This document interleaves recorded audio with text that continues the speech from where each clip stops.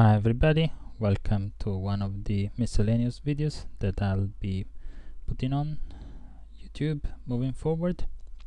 So at work I've recently resorted to producing um, text uh, diagrams for the architecture diagrams that um, I have to put down as a reference and uh, while I was working at this one I thought that uh, first of all the generation can be automated quite easily with the script.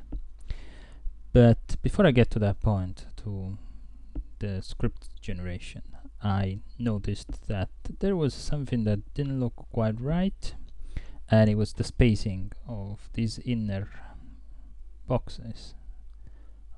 Here on the left is two chars and here is one same thing happened here 2 and 1 so as I said although I'll be generating these um, diagrams um, automatically. I just wanted to quickly fix this one and I didn't want to do it manually. So I've seen that there is um, a diagram editor a text diagram editor for Mac but I don't have access to a Mac and I don't know whether it would allow me to stretch the outer box here and here.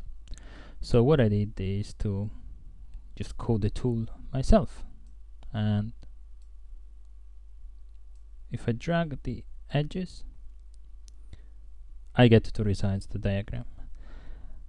That's the only feature I've coded so far because it's the one I needed. But in future I'll uh, also be coding the features for dragging um, down up and um, a little bit of recursion to figure out um, a clever way for doing uh, this uh, resizing and which components are affected when you drag something.